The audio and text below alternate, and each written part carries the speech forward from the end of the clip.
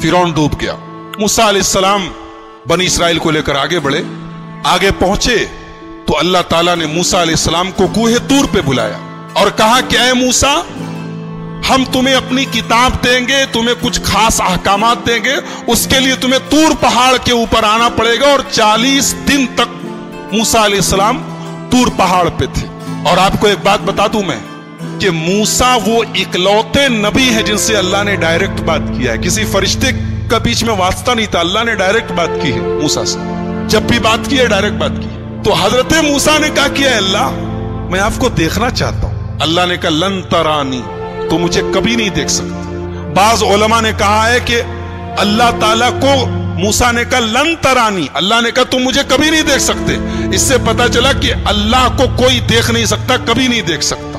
मगर यह बात गलत है। दुनिया की आँख से अल्लाह को कभी नहीं देखा जा सकता। लेकिन आखिरत में लोग अल्लाह का दीदार करेंगे, जन्नती जब जन्नत में जाएँगे तो अल्लाह ताला का दीदार करेंगे, ये कुरान से भी साबित है और हदीस से भी साबित है। तो दुनिया की आँख से कोई अल्लाह को नहीं देख सकता। हमारे नबी सल्लल्लाहु अलैहि वसल्लम भी जब मेराज पर गए तो सही बात यह है कि आपने अल्लाह को नहीं देखा, आपने अपने रब का दीदार नहीं किया।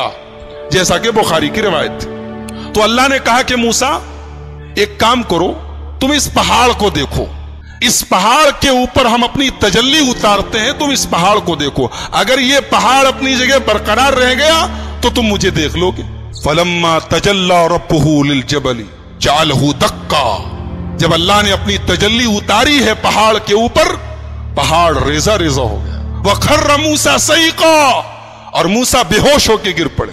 जब मूसा होश में आए तो कहने लगे अल्लाह, मैं तौबा करता हूँ। अब आज के बाद मैं ये ऐसी डिमांड नहीं करूँगा, ऐसा मुतालबा नहीं करूँगा, मैं तुझको देखना चाहता हूँ। जब मूसा इस्लाम तूर पहाड़ से वापस गए तो देखा उनकी कौम ने बछड़े का, को अपना माबूद बना लिया। उनकी कौम में सामेरी नाम का एक आदमी था।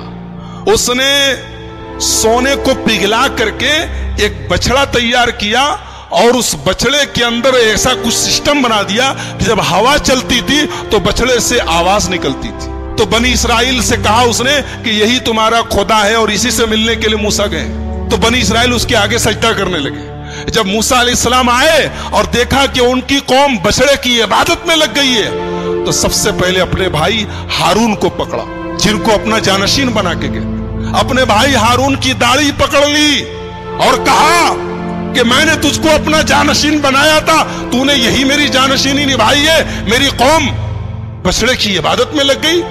कहा कि मेरे भाई, पहले मेरी बात सुन लो, मेरी दाढ़ी छोड़ दो, मेरा बाल छोड़ दो, पहले मेरी बात तो सुनो। ये सब आपस में झगड़ा कर रहे थे और मैंने समझाने की कोशिश की। लेकिन मैंने देखा कि अगर मैं ज़्यादा इंटरफेयर करता हूँ तो बात ज़्यादा बढ़ जाएगी। मैंने आपके आने का इंतज़ार किया, मैंने और कुछ नहीं किया। मूसा इस्लाम ने बुलाया सामरी को। बोला, ये बता, तूने ये क्या किया है? ये तूने बछड़े को क्यों बनाया है? तो सामरी जवाब क्या देता है?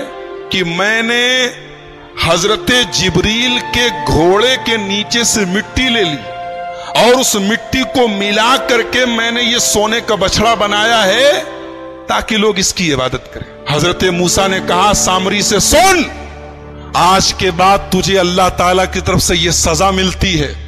कि आज के बाद तुझे ज़िंदगी भर जो छुएगा वो बीमार हो जाएगा। तेरी ये सजा है। तूने बछड़े को माबूद बना के मेरी कौम को शिरक में डाला। अब तुझे यह सजा मिलती है कि तू ज़िंदगी भर अनटचेबल हो जाएगा। तुझे जो टच करेगा बीमार पड़ जाएगा। अब सामरी का हाल यह हो गया कि जो उसे छूता था वो बीमार हो जाता था। और वो खुद भी बीमार हो जाता था। लिहाजा जब कोई सामरी के पास से गुजरता था वो कहता ला में सांस ला में सांस मुझको मत छुओ मुझको टच मत करो। और उसके बाद हज़रत मूसा ने कहा कि तेरा ये जो सो, सोने का माबूद है ना देख इसका मैं क्या अंजाम करता हूँ? उसको आग में जला के हज़रत मूसा ने पानी में फेंकवा दिया। कहा कि जिसको तुम लोगों ने अपना माबूद बनाया तो देखो उसका हम ये हाल करने जा रहे